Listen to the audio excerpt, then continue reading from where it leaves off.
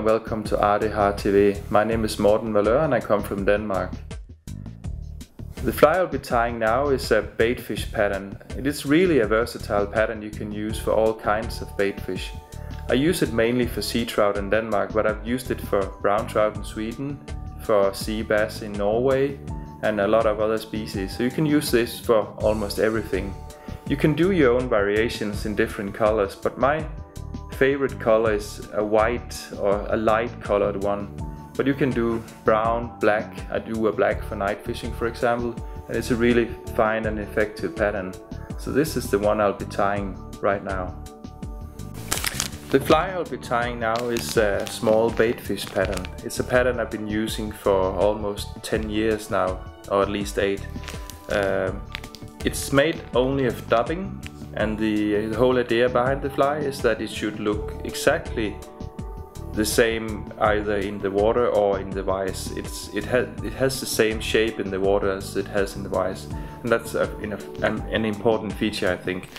As I said, it's made of dubbing. It's made of polar dubbing mostly, and a little bit of ice dubbing just to add some flash to the fly. Um, you can mix this polar dubbing in a lot of different colors, and I prefer to do it myself. Uh, you can buy the plain colors as well, uh, but I think it, it, looks more lifelike if you mix these colors to get the yeah the right the right color combination for the fish you want to imitate. Uh, it started out as a pattern for sea trout fishing in Denmark, but I use it a lot now in even for brown trout and rainbow trout and all kind of other fish actually. So all species where you want to have a bait fish imitation in small sizes, this is a really versatile pattern. Uh, I'll start by preparing the dubbing. I use white, which is my basic color for these uh, flies, and then I can add the color I want. Um, like that. And I need, I think, you know, this one I will put in some olive. Just a little bit like that. Maybe a little pink. It will only be a sm it, it, it, the, the fly will not turn pink by this. Just give it a little tint. Uh, and maybe a little tan. You can do this, as I said, in whichever color you want. You, depending on the pattern you want to imitate or the fish you want to imitate. And I add a little bit of pearl colored ice dubbing it's uh, be, be careful not to use too much of this because it adds a lot of flash, especially in sunny weather. I do a lot of these patterns without any ice dubbing at all, so just put in a little bit. It's really visible in the water when, the, when it's sunny, so be careful not to use too much. I think I got a good combination here, so what I need to do now is just to mix it. And I do that by just pulling the fibers out and try to blend it as good as possible. It's a little bit like blending paint. Uh, and if you do this long enough, you'll see that the you can't see the different colors anymore. They'll just disappear and become one color actually. And especially when it's tied into the fly, you will not be able to see that's made out of different colors. And you can make the shade as exactly as you want it.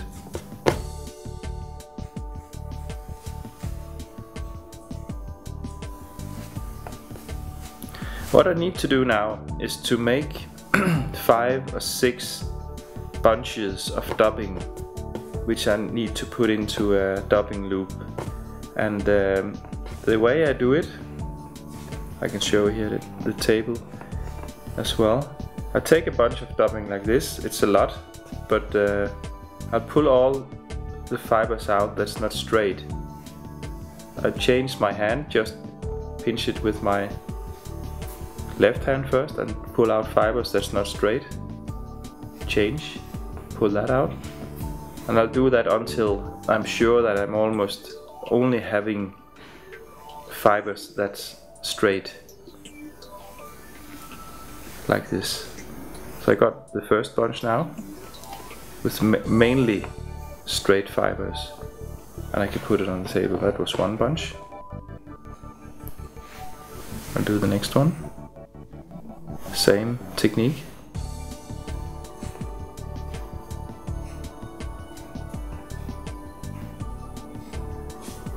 Like that. Next one. I'll show you later why this is necessary to do. It becomes obvious when we put this in the dubbing loop.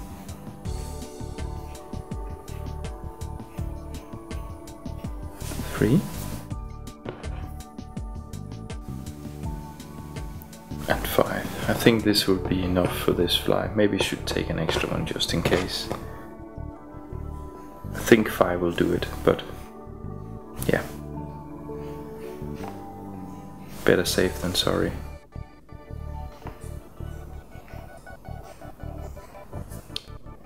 Then I got the the six bunches of dubbing for the for the body of the fly.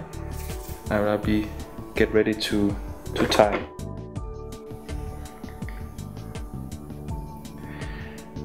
The hook size I prefer the most is a size 6. Uh, I can even go down to a size 8, but preferably a size 6. I think that's a good size for most baitfish imitations actually. And you get a decent good hook gape as well. But I can, as I said, do them smaller as well if, if needed. But size 6 is a good size. Just fasten the thread with the, uh, behind the hook eye and move the thread backwards to the hook bend. Not down in the hook bend, just to where the hook bend starts. Then I take a little bit of the dubbing, the small bunch of the dubbings, dubbing I made earlier, where all the fibers are straight and now it's a, this is quite important that you do this the right way. What I want to do now is to have a really long tail, you can say, actually, like that. And then you have the, uh, the part on the other side, which I'll bend backwards, um, which is shorter. And this, it, it doesn't make sense right now, but when you cut or like, cut the fly later, this will make a lot of sense why I do this. I'll tell you why later. But normally as I do this, I just put the bunch around the thread like that and try to steer it in exactly where I want it. Then I got, as you can see here, two thirds on that side and one third on the other side. This is ac actually helps me create the taper of the whole fly, which you'll see a little bit later. Just securely fasten the materials and then bend this backwards like that. You can, if you want to, put maybe one or two turns underneath the tail I'm not sure this really helps anything. I, it just feels right to do it. I, I'll do it. That was the first part of the fly actually. And we make a big dubbing Like that. Put in the dubbing wheel. Remove any, any old thread there. And let it hang there. Then I need to put on some dubbing in the traditional way uh, just to cover the hook shank before I make the rest of the fly and that you just do this as you normally would do any kind of dubbing on a normal fly.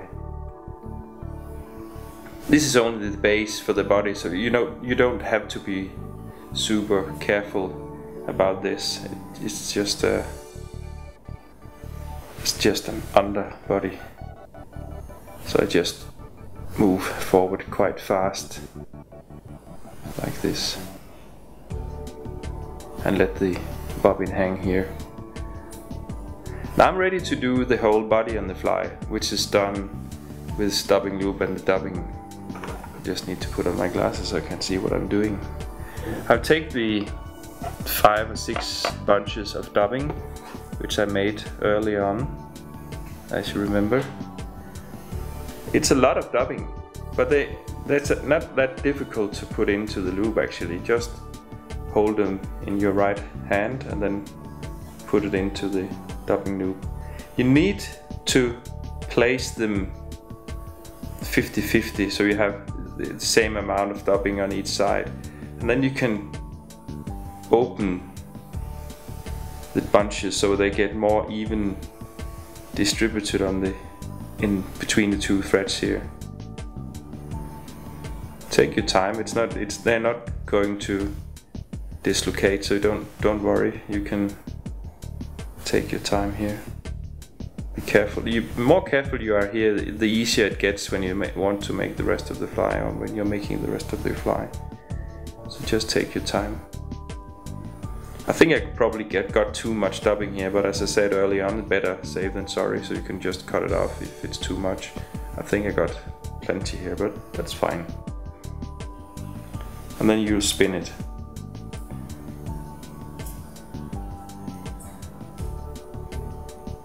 Like that.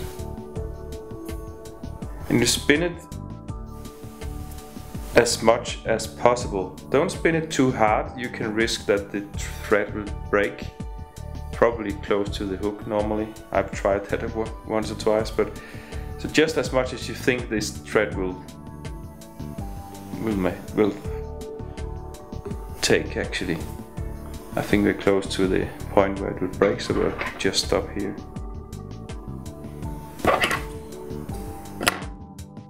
Now I need to, and that's really really important, now I need to pick out all the dubbing. I need, I actually need this to be a kind of chenille and not a thick dubbing brush as it is now. Uh, so I either use the point of my scissor to pick it out or I use my dubbing needle. Normally I use both actually. Start out with the dubbing, uh, with the scissors, point of the scissors just like this. I'm not cutting, I'm just using the point of the scissor.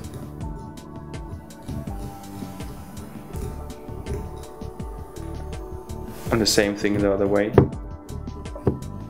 I'm so used to this. It's it's uh, it's easiest thing for me to do is to do it with the point of the scissor. What you need to do is to pull out any dubbing which is going around in circles around the thread. We want this to be, as I said, just keep on doing this until you don't have any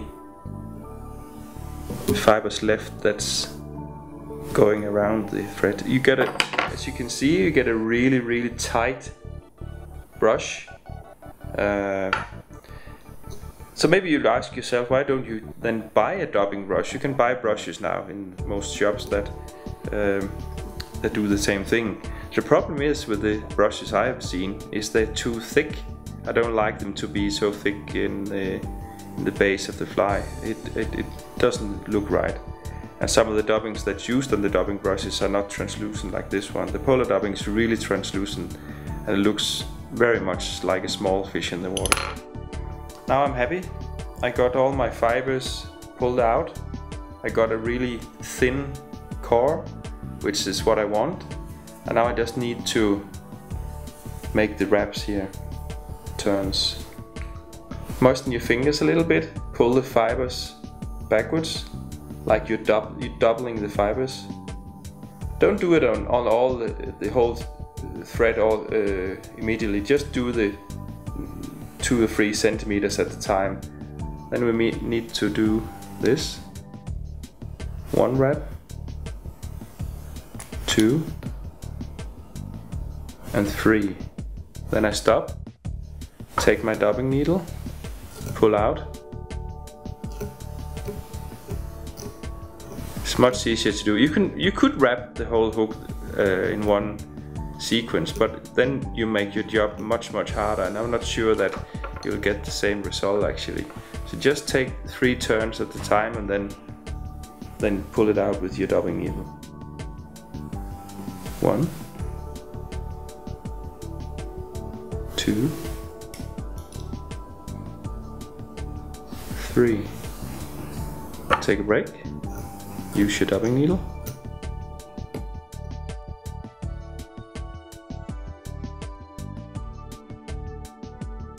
Okay, next sequence. moisten your fingers a little bit, pull the fibers backwards, like you will do with a normal hackle. Two, and three.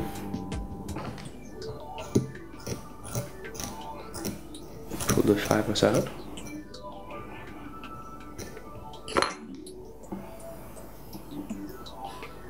Same procedure.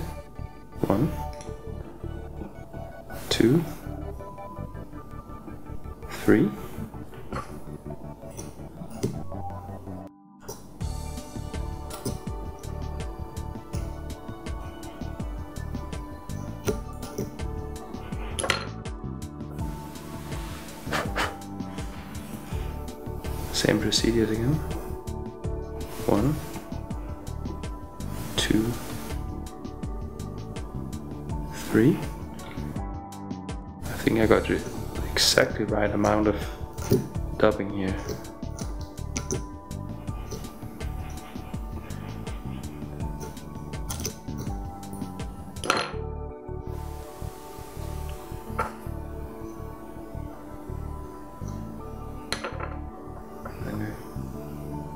Do the last wraps here.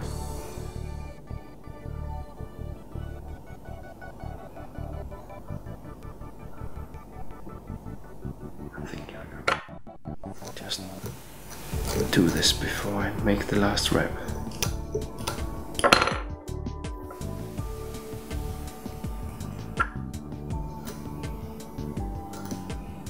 Just like that.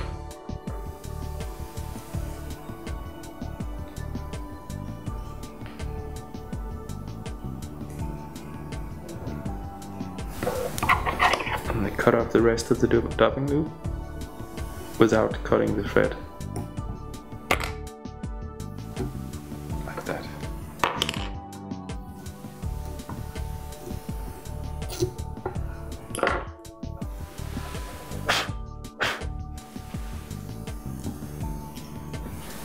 Just securely fasten the rest of the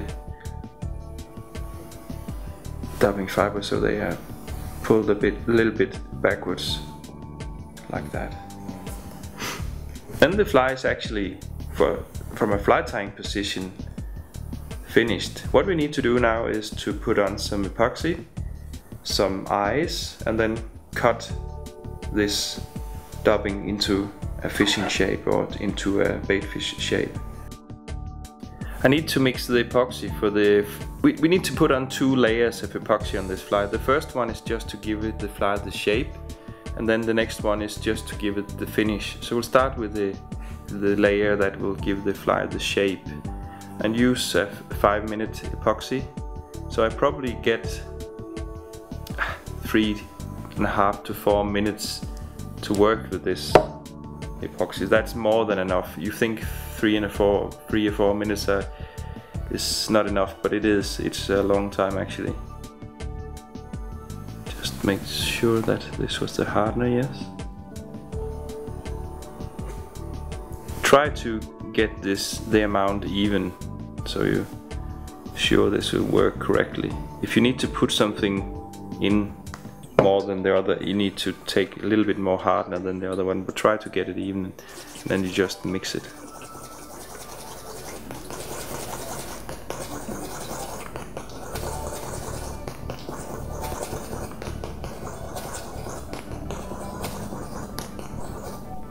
Su- Sure, it's mixed, probably. Like that. Then I need to put on the epoxy on the fly here. This is what I'm saying now is actually quite important. The, the problem is, if you can call it that, is that if you try to put epoxy on dubbing fibers, you most likely to pull these fibers out and you will leave a lot of epoxy on places where you don't want the epoxies. So you will end up uh, end up with a Rapala lure instead of a fly. So be really careful here. What I'm doing is I'm putting on the epoxy, starting just behind the the hook eye, and then I work myself a little backwards, and then I go that like that, and then I can pull it out without pulling out any of the dubbing fibers. So just take your time here so you don't put the epoxies in, the epoxy in places where you don't want it. Never pull out the the uh, needle here. Do it here instead. Then you then you should be safe. And try just to work the epoxy into the fibers. And then you must try to move your hand instead and not trying to loosen your grip on the fly.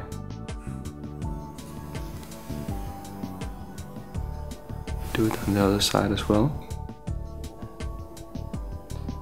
Just take your time. It, you got almost four minutes here, so it, it's it's uh, it's a long it's long time actually, more than enough. And I think I'm quite happy now actually. This, as I said, is just the first coating. We'll put another coating on to make it look good and smooth. So this is just to get the shape, nothing else. I think I'm fine there. I'll just do like this. What we need to do now is just wait. I probably this will be another two minutes before this starts to be hard. Uh, so yeah, two minutes, I guess. What we would like to accomplish here is that we will want some height on the on this side of the fly, on the top of the fly and have it very very flat underneath so we don't destroy the the hooking possibilities of this fly. We need to have it yeah quite flat underneath and high on top. Okay, I think we're ready to put on the eyes and start shaping this small bait fish. Maybe two or three millimeters behind the, the last uh, wrap of thread. There's still some room here behind the eye and that's where I want to make the gills with a red pen later.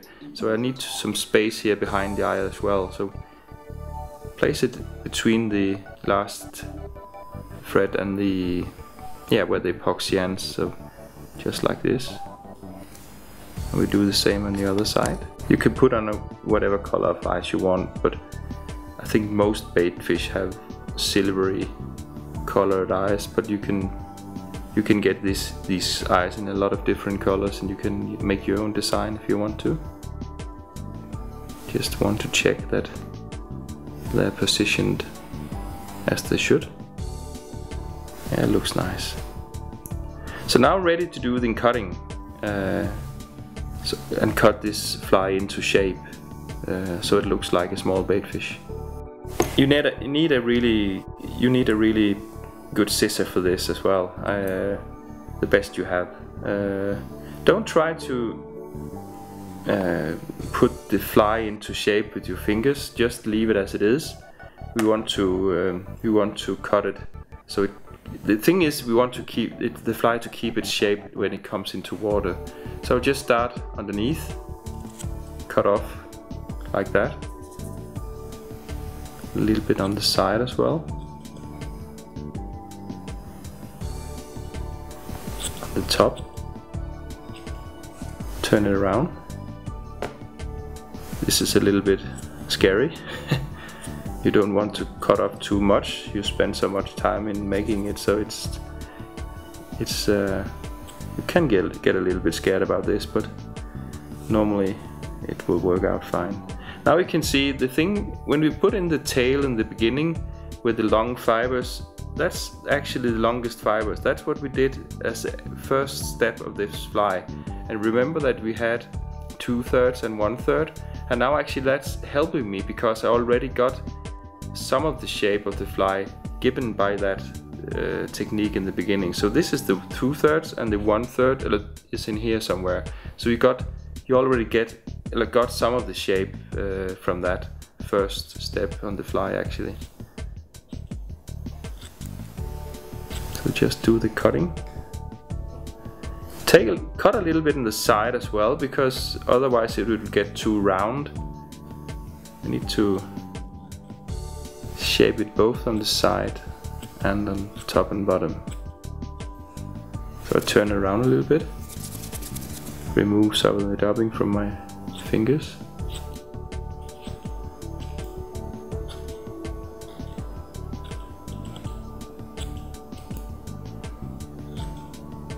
Take your time. It's not a... Don't rush anything. You don't want to destroy your good work.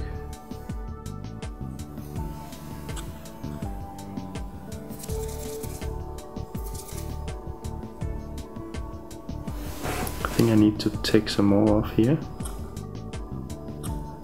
And on the other side as well.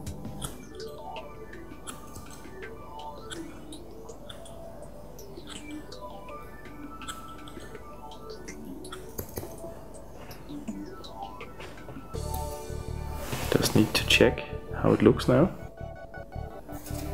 Getting close, I think. Still need to take some off on the top.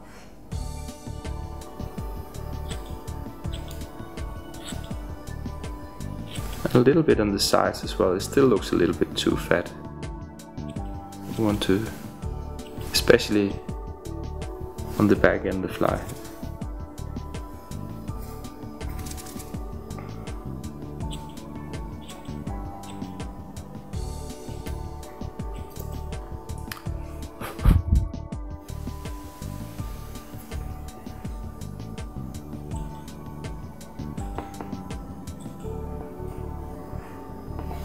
It's like making a muddler. You can cut and cut and cut and cut and then you, will never be satisfied. But at a point you need just to stop and say, okay, this was the fly. Then I take my red permanent marker and put on I think there's some um, dubbing on the eye, but that's okay. Put on a gill here. Like that. I'm not really sure this attracts any more fish, but it looks it looks so nice on the fly, so I want to put it on. So maybe this is more for me as a fly tie than it is for the fish, but that doesn't really matter. And maybe you can maybe you can do a little artistry on your fly. That was the the gill. Then we can put on some maybe a little of of a back on the fly as well. This is not really for this is also for me as a fly tie, maybe not so much for the fish, it just looks nice. I put on a little pink on this one I've added a little pink dubbing you remember so I think we can put on a little pink paint as well. Even though these are called permanent markers this will come off in water after maybe half a day of fishing but uh, you can always put it back on if you want to or you can just leave it as, as it is. Especially the light colors are coming off in water but that's okay. Like that use uh, dark gray as the next one. Just a little bit. So you'll have a combination of pink and gray and then a little black on the top. Oi. Like that. Just to get it, get this, get this really black back as most most bait fish have.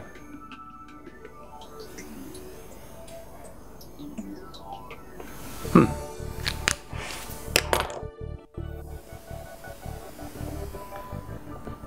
And the fly is more or less finished. The only thing we need to do now is to put on a second layer of epoxy to cover the eyes and the gills so we have a really smooth and nice finish to the head and uh, this will be a, a finished fly. So that's what I'll do now, just put on the second layer of epoxy.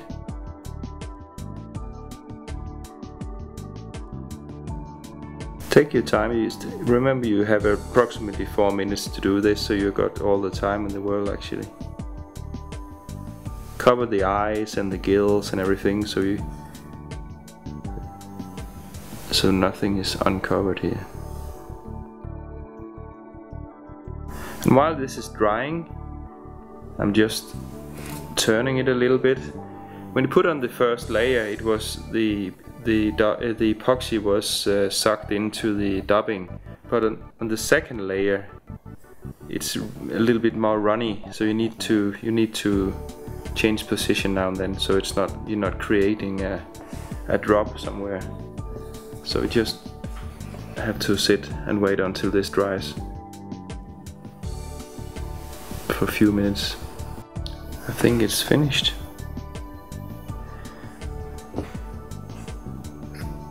What we have here now actually is a fly that will keep its shape in the water. And not many baitfish patterns do that. Uh, and the reason why is that we have cut it into shape. So I'm sure and confident that this fly will have the shape in the water as it should have. It looks like a small baitfish when it gets into the water. So uh, try it. It's really, it's really worth it. And as I said in the beginning, this is not just for for sea trout. It's even really good for brown trout, rainbow trout, uh, bass, uh, and a lot of other saltwater species actually. So it's a really effective and good pattern. So go fishing.